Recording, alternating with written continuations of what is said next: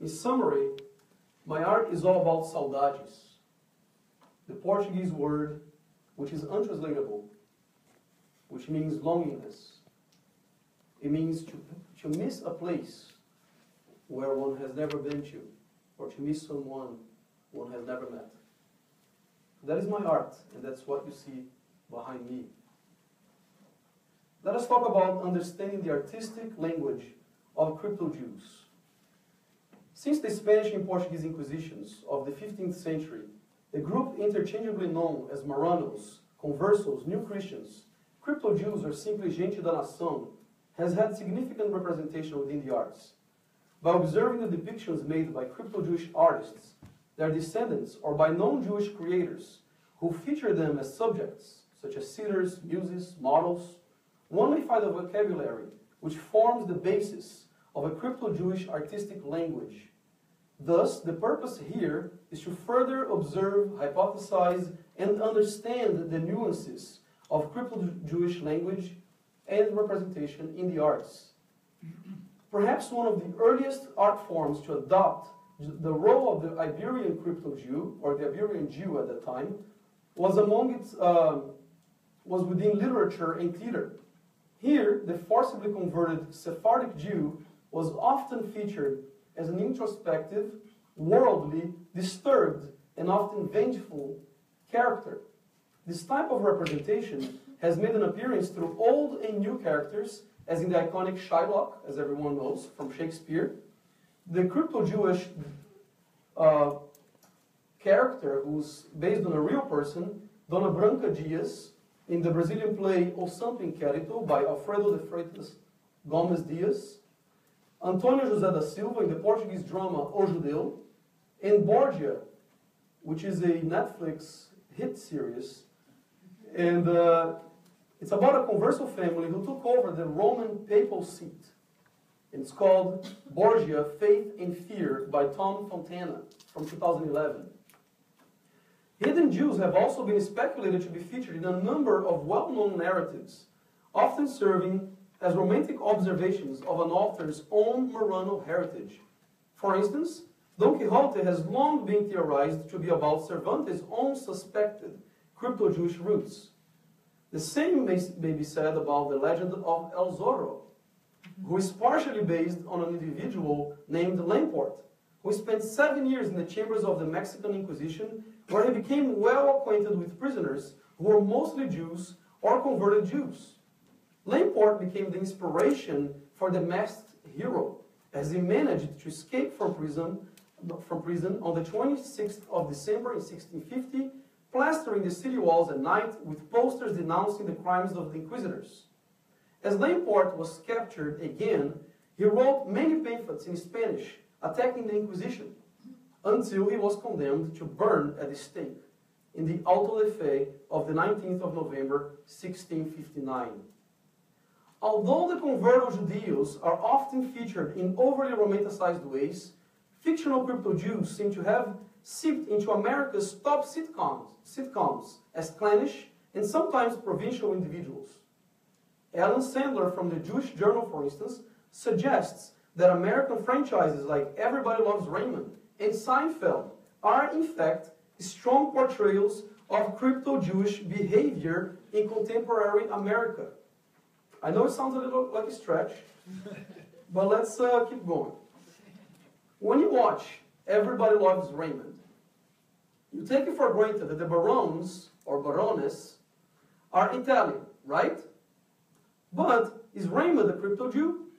Back in the old days, in the Hollywood created by the founding fathers, Goldwyn Mayer and Warner Brothers, there were no Jewish characters on screen, only idealized white Christians.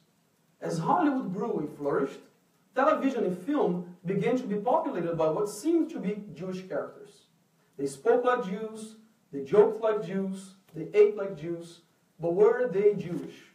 They were hidden Jews, crypto, crypto Jews. Seinfeld, for instance, was a veritable hive of crypto-Jews. Jerry himself was, of course, openly Jewish, but what was of the supporting cast? Anyone who wanted to could recognize that George, Elaine, and Kramer were Jews. They were based on real people, all of whom were, in fact, Jewish, but on the show they were not. Are the Barons Marranos? Well, the characters on the show are named Barone, generally viewed as an Italian name, but in Italy it is in fact a Jewish name. Crypto-Judaic presence in the past and in contemporary art is indeed a fact. However, the reason for such is still an unknown variable worthy of examining. Perhaps by observing the crypto-Jews of the avant-garde, one may find overlapping characteristics in their social, religious, and psychological profiles, which might have influenced the portrayal of their arts and lives perpetually. As it is the case with most things pertaining to crypto-Jews, inquisitional files from the 15th century to the 17th centuries provide the best observation of their modus vivendi, showing some of the aspects that artists may have found compelling to immortalize in the art. For instance, it is notable that the conversos interrogated by the Inquisition between 1495 and 1500 were mostly city dwellers, not directly connected to the cultivation of the land. These individuals were commonly found within the cosmos of the city as middling artisans, often in textiles such as tailors, weavers, dyers, and old clothes dealers.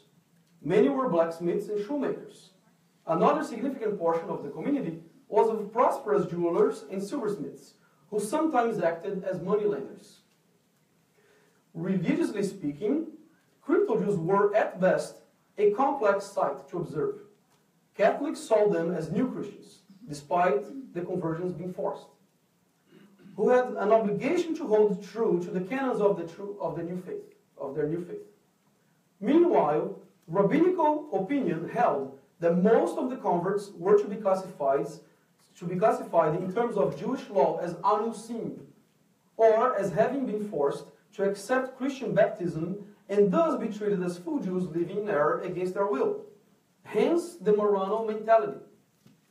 Along with their strong penitential aspect, may be said to have risen out of their sense of guilt for not completely obeying Jewish religious law and for not being faithful to the teachings of the church. So they were torn. They were very accurately being called souls in conflict. And such dramatic condition may have left a mark in their artistic representation. One of the most artistically featured communities within the, the crypto Jewish midst was the one formed by the Portuguese migrants to Amsterdam at the end of the 17th century. These conversos, after having lived under Catholicism since the late 1400s, succeeded in making a full return to normative Judaism in the 1650s as a unified community. Perhaps this process of death and rebirth, referred to as the Phoenix of Abraham, may have been pivotal to bring Rembrandt's attention to the Portuguese Jewish returnees. After all, rare are the cases in history in which entire communities recover their ethnic, religious, and linguistic roots after centuries of duress, limbo, and persecution. We have the state of Israel as, as one of the examples, which is very rare. I believe Liberia would also fit into that. A well-known painting by Rembrandt is that of Manuel Dias Soeiro, also known as Rabbi Menashe ben Israel. Born in Madeira Island in 1604 from converso parents who escaped the Inquisition from mainland Portugal and who settled as Jews in Amsterdam in 1610. Among Rembrandt's other sitters of Marrano stock were the young Abigail de Pina, wife of the Marrano poet Miguel de Barrios. The family of Daniel Levi de Barrios, Rabbi Saul Levi Morteira, Spinoza, supposedly as the model for the piece titled The Man with the Magnifying Lens, and the medical doctor Ephraim Bueno, to name just a few. Was this saga of escape and return, death and rebirth, what enticed Rembrandt to repeatedly portray the Portuguese Jews of Amsterdam? Rembrandt had known many of these people personally, so one could only assume. To further translate the captivating aspect of artists with the crypto-Jewish reality, one must seek to understand the, how the Iberian Jewish world viewed its people, and also how the Iberian world viewed its Jews. It is important to note that while religious extremism was the reality of Spain and Portugal during the 15th century, Iberian Jews had for 500 years already possessed an outstanding knowledge of mathematics, language, and specific method and the scientific methods, astronomy, and the trade routes. These skills were not only made not only made them time-tested cartographers, guides, and explorers, but also gave them the reputation of being wandering Jews, a people without a land, liberals, internationalists, and staunch adherents of a universalist worldview. This also may have struck an artistic chord among creative people who surrounded the Converso community.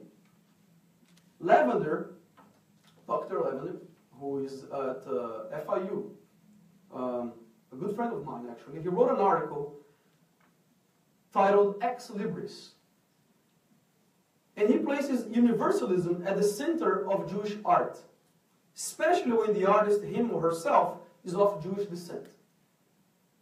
Universalism is an important aspect of Jewish thought, and many Jewish artists have expressed universalism and hence their Jewish values in many of their paintings. Indeed, history shows the ease with which many crypto Jews fled or adapted to new realities when necessary. It may thus be said that the Converso's extensive inter internationalism gave way to the adoption of an universalist approach to life, clearly expressed in their politics, charitable acts, and relatedness to others. But who were the main artists who most eloquently knowingly or unknowingly added to the repertoire of crypto-Jewish art? And how did their artistic portrayals contribute to the further growth of a crypto-Jewish artistic language? Below are a few examples of just a few intriguing individuals. Although not of attested Jewish descent, he's most likely not Jewish, perhaps the artist who took the most risk as a recorder of the plight of the persecuted by the Holy Office was the Spanish court painter Francisco de Goya y Lucientes. Goya, from his position of prominence in the late 1700s, saw up close the horrific acts of the Inquisition and recorded many visuals from autos de fe. These were the tribunals, where numerous crypto Jews were burned at stake. In Los Caprichos, the Spanish painter invariably took the side of the persecuted and strongly criticized the brutality of Spanish society. For instance, in his piece titled Those Specks of Dust, Goya dealt directly with the Inquisition by boldly attacking its uh, arbitrary justice, by depicting the plight of a known personality of the day. The prisoner on trial was named Perico. It was a, a, a lady. As she appears in front of a mob of officials robed in a typical penitential uniform called San Benito, she sits hunched over as if condemned in advance. Goya then remarks in his writings, badly done, to treat an honorable woman in this way, a woman who for nothing served everyone so well and so usefully, badly done. Among all creative people, however, few artists were as influential and incrustable as the Baroque painter Diego Velázquez, who is Jewish. Born in the late 1500s, the Andalusian painter was the son of Portuguese conversos. His father was João Rodrigues da Silva, and his mother was Jerónima Velázquez, who belonged to the lower Hidalgo class and taught Diego the fear of God. The fear of God. That was the extent of uh, uh, their religious teaching to, to their son. There is perhaps no painting other than Las Meninas by Velázquez, which I'm sure most people are very familiar with, which better exemplifies a very peculiar crypto-Jewish element. The aims to belong, the perpetual need to affirm oneself as a worthy member of society, in her essay titled Velázquez en las Meninas, Madlyn Millner Kahr suggests that the enigmatic masterpiece was made with an ulterior mo- motive in mind that of granting Velázquez a coveted title that would ensure him a high place in society. Besides suggesting a heavily Flemish influence in Las Meninas, Kahr's essay discusses Velázquez's desire for an aristocratic title greater than any single court position he could ever hold, concluding that what the descendant of conversos really wished for was ennoblement. In what seems to be an exemplary study of Velázquez's psyche, Kahr analyzes the desperate use of light in Las Meninas. Coming from a master artist such as Velázquez, the use of light in, in this painting seems surprisingly confusing. It appears to be coming from slightly above horizontal center and off to the right. The face of the princess, try to visualize that painting. The face of the princess is illuminated from up and slightly to the right. But since the part in the hair of the female's dwarf, and i am sorry for this word, but that's what she uses, is illuminated, and her right cheek is shadowed. And since, since the little boy's face is totally in the shadow, the light must be coming from slightly behind the plane that the dwarf is on. But if this is the case, it is difficult to explain how the mirror in the background seems so uniformly illuminated. Do you remember the mirror where you see the royal family and you also see Velázquez himself? With that being said, Kahr then inadvertently reveals Velázquez's distorted issue of self-awareness, as the mirror hints at Velázquez's own unreality. Another unparalleled contributor to the converso artistic language is, is artist Jacob, Jacob Camille Pissarro. As you mentioned Pissarro, he was himself not a crypto Jew, but a descendant of Portuguese Jews who were once crypto Jews. So Pissarro, as he was best known, he was born in 1830 in Charlotte Amalie on the Caribbean island of St. Thomas, then under Danish control. His father was Abraham Gabriel Frederick Pissarro, who was born in Bordeaux, France, which had long had a strong Portuguese and Spanish Jewish community. His family had originated in Portugal, where for 300 years they had been Marranos. But as one of the world's greatest impressionists, Pissarro never once painted Jewish themes, for his family was skeptical of religion. However, critics of his time insisted that his art was inevitably Jewish, for his Jewish as well as his provincial background was always to play a role in his emotional makeup. They thought that his emphasis on sympathetic portrayals of poor people constituted his spiritual contribution. He early on developed a compassion for, for the exploited, a, and positive portrayals of peasants formed a major, a majority of his paintings. Therein lies the artistic voice of Pissarro as a descendant of crypto Jews. He was an, an interpreter of the needy. He was an enabler for social justice. Pissarro was constantly regarded as a Jewish artist by his peers. As Renoir referred to him as that Israelite Pissarro. And while one could say that Pissarro even attempted to hide his Jewishness, he was still thought of as Jewish by other contemporary artists who, when seeing him strolling down Paris streets with sketchbooks in hand, referred to him as Moses with the tablets of the law. Other attributes that were also thought of as irrefutably Jewish were his universal inclinations and his belief that artists have social as well as aesthetic responsibilities.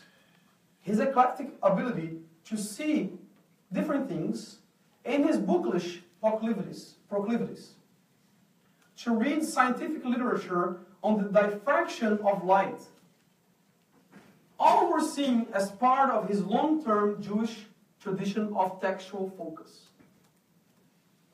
Another riveting character of conversal descent is the Italian artist Amedeo Modigliani. Born in the Italian ghetto in Livorno. His father died young, and his mother encouraged his de her delicate son in his aptitude for art. He was handsome, talented, sensitive, and extremely proud of his Jewish heritage. Modigliani became one of the most notorious characters in Montmartre. Modigliani's mother claimed descent from Baruch Spinoza. Spinoza never had kids, yet he claimed his descent. So we're not going to contest that, but let's accept it. Perhaps, you know, just a branch off of. Modigliani was famous for his princely lifestyle, even though he was always penniless and for his belief in the artistic ex exceptionalism. And he viewed artists as special individuals with different values other than that of normal, ordinary people. Despite being eccentric, Modigliani displayed a truly converso trait. As he became the leader of the School of Paris, his subjective and expressive art revealed his basic dignity, his despair, and the feeling of haunting melancholy. This melancholy, especially found among Portuguese crypto Jews, is the saudades revealed in the converso, which Modigliani seems to have inherited much of. It may thus be concluded that a powerful but inconspicuous cultural heritage left by the gente da nação, or by the nação israelita, is the following a verifiable artistic language that has strongly influenced Western art from the dawn of the 15th century to today. Their vocabulary has been revealed through iconic characters, as well as through their lives and artwork. Their highly nuanced language is, however, only observable if one is cognizant of their history. For it is, and it was, by their arduous path that a distinguished means of artistic expression was formed. Very good.